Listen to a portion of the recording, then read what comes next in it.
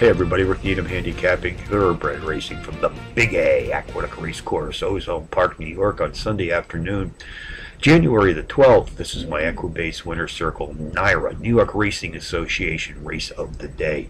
Take a look at the Race 3 feature this afternoon, folks, 1.23 p.m. Eastern Post Time. This is the Ruthless Stakes, six furlong sprint on Aqueduct's winterized inner dirt track. Three-year-old fillies raced for $100,000. Contenders number four, Summertime Friend. Number five, Mamadura. Number two, Alpaca Fina. And number one, Vero Amor. Well, folks, this race honors the career of the filly Ruthless, a National Museum of Racing and Hall of Fame inducted racehorse. She is best known as the winner of the inaugural Belmont Stakes in 1867. Belmont Park, of course, was not built yet.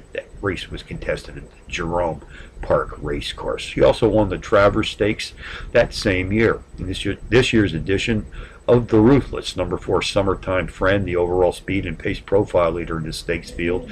His excellent early speed ability is the complement for this inter-track sprint. Has hit the board in power run fashion in both of her two career starts to date, including a power run win to break her maiden in her first asking. Number five, Mama Mamadura the morning line favorite has hit the board in each of her three career starts to date, including back-to-back power run wins in her last two adventures.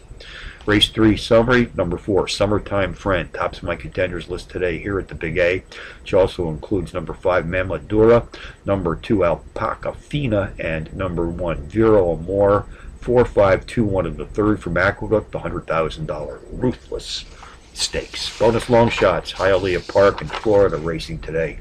Race 3, number 2 Cartel sets, 6 to 1 shot, a Trackmaster Plus Power Pony qualifier. Takes an 11 unit Trackmaster class drop, the overall speed leader in this claiming field this afternoon. Portland Meadows, race 6, number 5 Neil Healy, a 9 to 2 shot is a Trackmaster Plus Power Pony qualifier, takes a class drop of 9 units, speed leader disallowance field racing at today's distance of a mile on the dirt.